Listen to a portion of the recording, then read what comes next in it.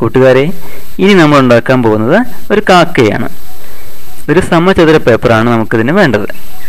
ആദ്യം നമ്മളതിനെ ഇങ്ങനെ മടക്കുന്നു. വീണ്ടും പകുതിയിൽ മടക്കുന്നു.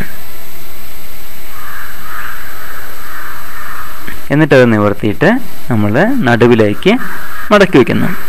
രണ്ട് ഭാഗത്തും നടുവിലേക്ക് മടക്കി വയ്ക്കുന്നു. അതിനുശേഷം നമ്മൾ അതിനെടുത്ത് ഒരു ചെറിയൊരു ആംഗിളിൽ മുകളിലേക്ക് മടക്കുന്നു.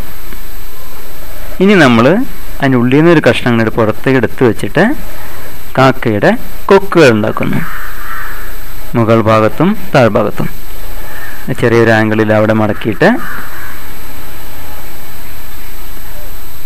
അതാ മുകൾ ഭാഗത്ത് കൊക്ക് തയ്യാറായി കഴിഞ്ഞു.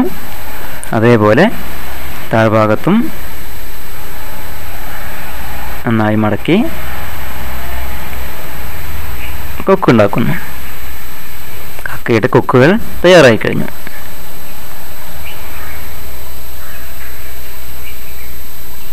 ഇനി അത് എടുത്ത് നമ്മൾ തിരിച്ചു വെച്ചാൽ കാക്ക തയ്യാറായി.